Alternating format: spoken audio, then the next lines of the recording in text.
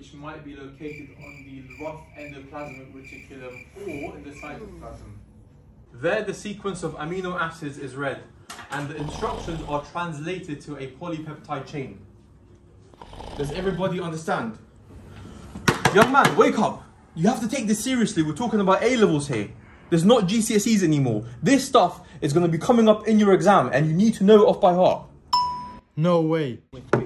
It's post-translational Exam QA launched its new platform. This is where yeah. the polypeptide Look, chain is Exam QA modified launched its new platform for the final A-levels. protein. For example, by adding prosthetic groups. This may be done in the wrong endoplasmic Are you The man? from the wrong Example just dropped some new year 12 thing. It does That's so how in I these know, which are pinched off. Hey, yo, the dead fam. And then fused with Golgi apparatus. Where did everyone go? Where did Sorry, sir. The new exam QA platform has just dropped. I need to go, sir. Sorry, sir. The new Exam QA platform. Wait, hold on. Have they got the A level slides? Yes, they do.